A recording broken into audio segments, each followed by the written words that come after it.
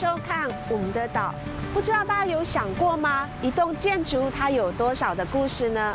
其实一栋老的建筑，不止它的外观设计，或者是建造历史，都是故事。曾经在这里来来去去的人，更是有说不完的故事。在花莲呢，就保有很多的日式官舍，还有日本移民村。不过这些老的日本建筑呢，因为在岁月的洗礼之下，慢慢的毁坏了。最近这几年，花莲民间就发起了保护日式建筑的行动。他们希望呢，透过老建筑的复旧，能够找回失去已久的历史跟记忆。在街头巷尾，在你不注意的角落，一栋一栋破落的老房舍，默默诉说着被人遗忘的身世。光影移动的瞬间，时光仿佛回到八十年前。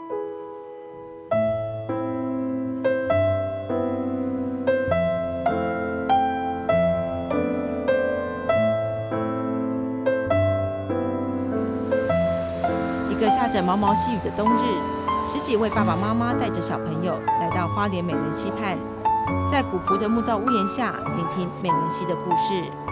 美人溪绝对不是只有水鸟，绝对不是只有石头，绝对不是只有水。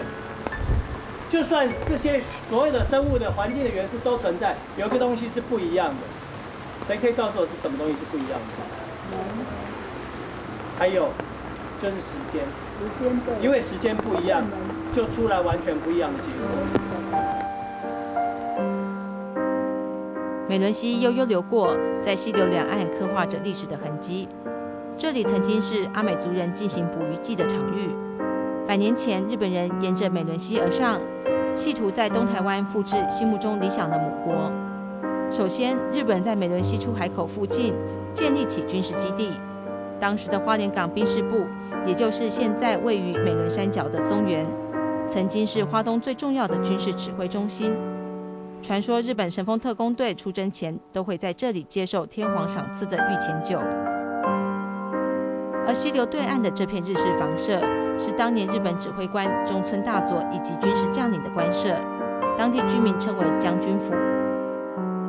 坐起来舒适，啊，感觉上又有那种呃日本的一个风味。啊，好像一一睡起来，就好像在在日本的一个啊一个小镇呢。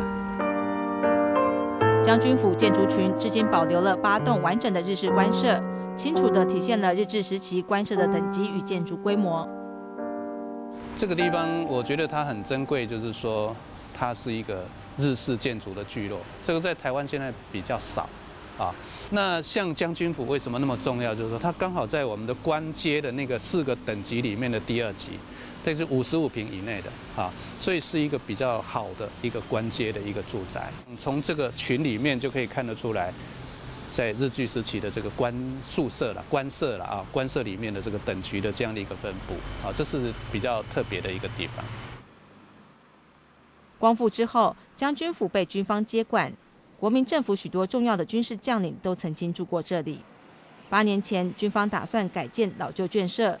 这片美仑溪畔的日本村差点被拆除。这是军方的地了，当时在九十二年，他们要撤走，就是建村要撤走的话，他们要要盖盖大楼，盖盖住宅区了，还是盖一个呃商业大楼这样的。但是我我想当里长，那那的责任是想法说，如果啊大的大楼很多了，你没有留下一些。这个呃基地的话，可能以后要恢复历史的看不到的一个阴影了，已经对脉络已经也不见了，所以说我很积极，在九十二年就上工，跟文史工作者呢就回文了哈，向中央请示了。在里长与社区居民的积极奔走下，将军府聚落终于被保留。其中将军府被指定为三级古迹，两边房舍也被划为历史建筑。而军医院院长官舍在经过整修之后，由社区发展协会经营管理，成为社区居民上课与联谊的空间。尤其咱这附近的人长啦，啊，多盖久的这这居民呢，啊，看看到保留出来，他他们都有一种感受，说，哎，保留到那以前的回味哈。伟峰都回来住，哎，好像又回到以前他小时候。三二一，请揭牌揭幕。展现的就是整个花莲市旧街景貌。为了重现日治时期美仑溪两岸的样貌，社区发展协会制作了日治时代的街廓模型。这个是花岗山，日据时代叫日山。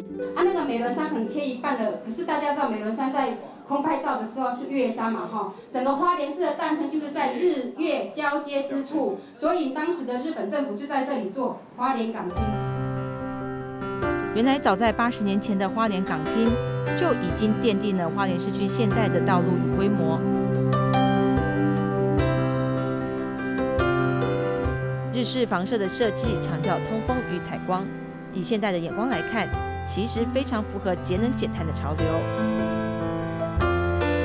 的部分，事实上日本建筑哈，日式建筑大概就是会在在基础啦哈，事实上你就看得到这边也有啊，用木头的啊，就是说在那个地坎的部分呢，它会留通气孔啊，像那几件几栋房子是用水泥的格栅，那有的是用铁的格栅啊，那这边也有一个啊。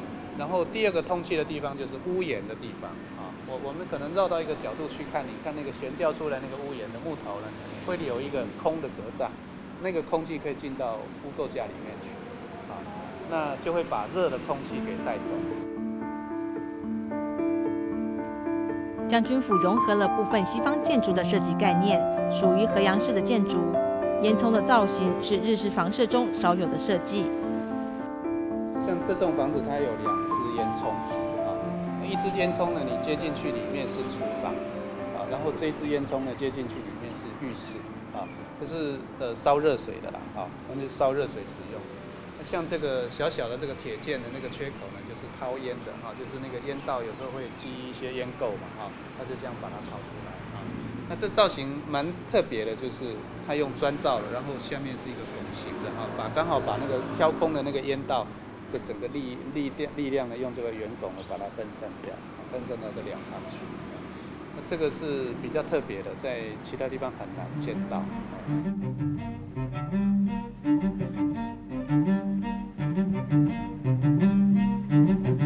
老树与老屋相互呼应，构筑了美伦溪畔这方宁静的天地。许多人不知道，夜晚的美人溪其实是热闹的生态舞台。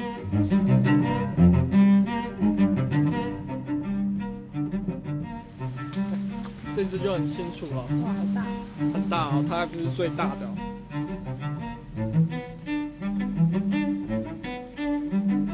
这一区我们通常会带小朋友来寻宝，寻宝就是说，大家通常不相信晚上会看到，哎，树上竟然有螃蟹。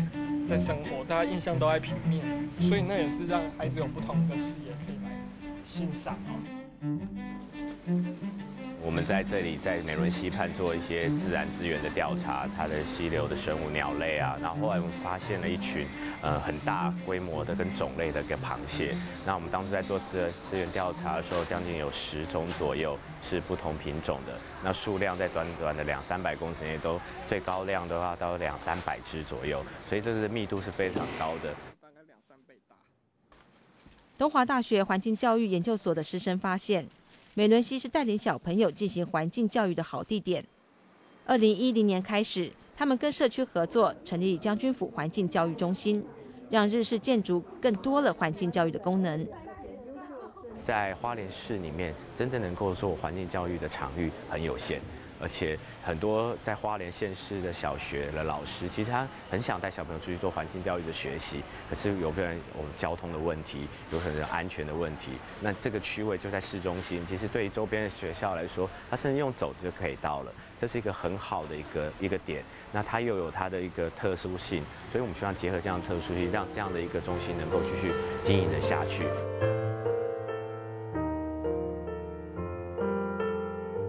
沿着美伦溪继续往上走，是东部地区历史最悠久的高等中学，已经八十四年的花莲女中。在刚翻修好的花女旧校长宿舍里，城乡规划者，同时也是花女校友的黄千秀，娓娓诉说着老校舍的故事。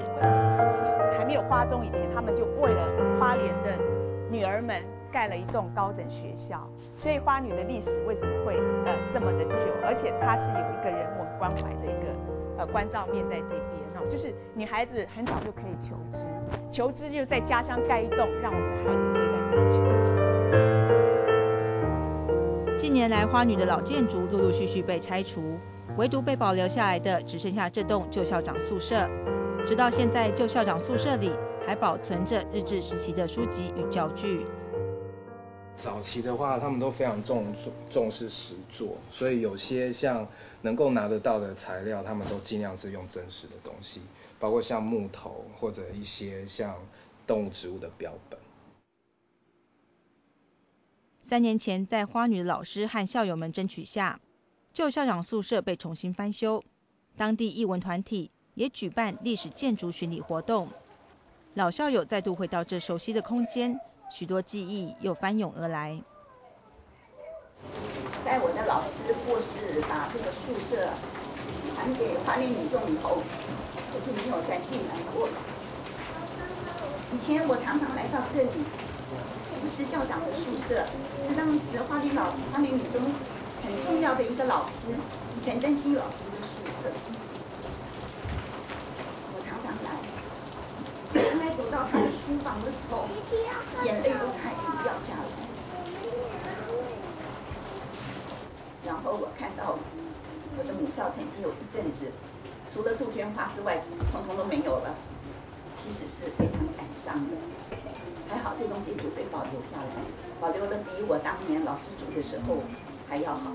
这点是我非常非常感动的。继续往美伦地区前进。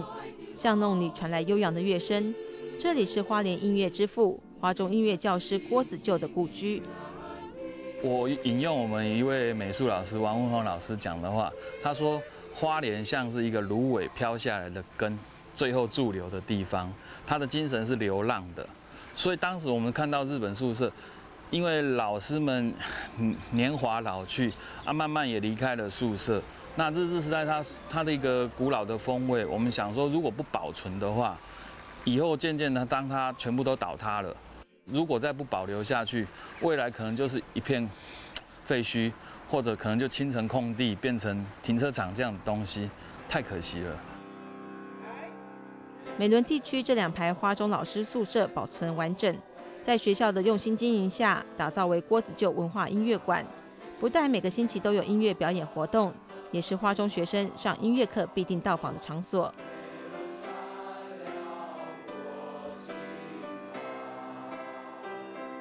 这边算是一个艺文中心，那我们就请艺术老师、美术老师跟音乐老师，他们有，诶有课程的时候，比如说教到郭老师的东西，我们建议他们就可以来这边参观。啊，通常每个学期都会有安排。老建筑本身就是教材。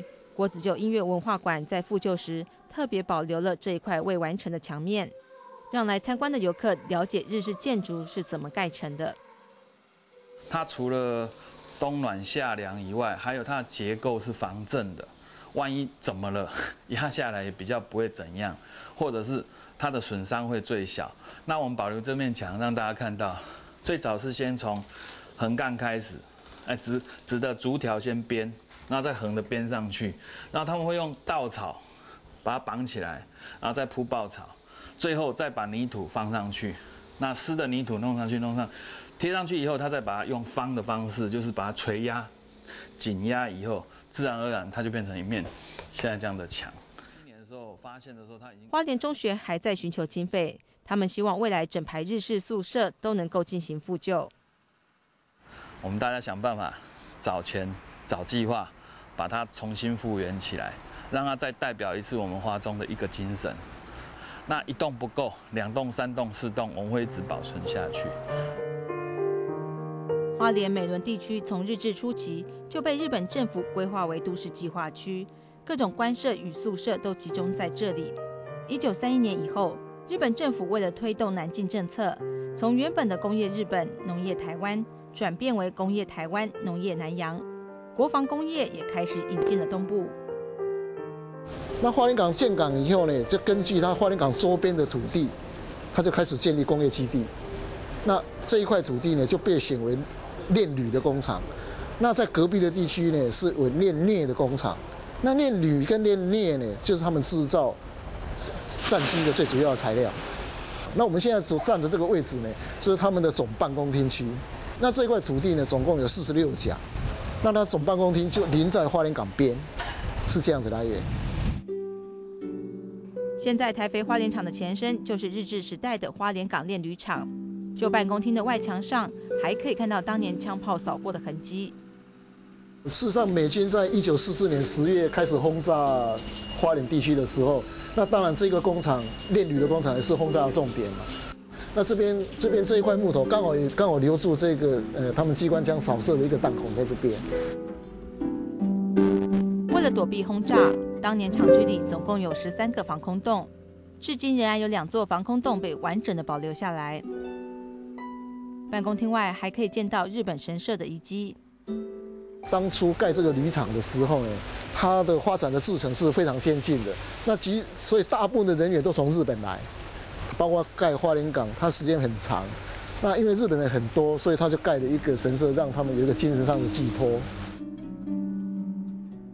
光复后，花莲港炼铝厂改建为氮肥厂，偌大的办公厅一直被保留着。几经台风的摧残。块木构筑的主体结构依旧完好。这几年台北着手整修损坏的旧办公厅，依据复旧如旧的原则，保留百分之八十以上的结构材。所以你要复旧如旧的话，就是说，第一个当然要尽量利用原来的元素啊，跟结构材啊。第二个步就是你要有办法让它能够新旧搭接的起来。那这样搭接的话，有两个含义：第一个是让它的元素还是旧的。第二个不，你要不能损坏它的强度。炼铝厂旧办公厅的建筑规模庞大，复旧经费高达五千万以上，靠企业的投入才得以完全修复。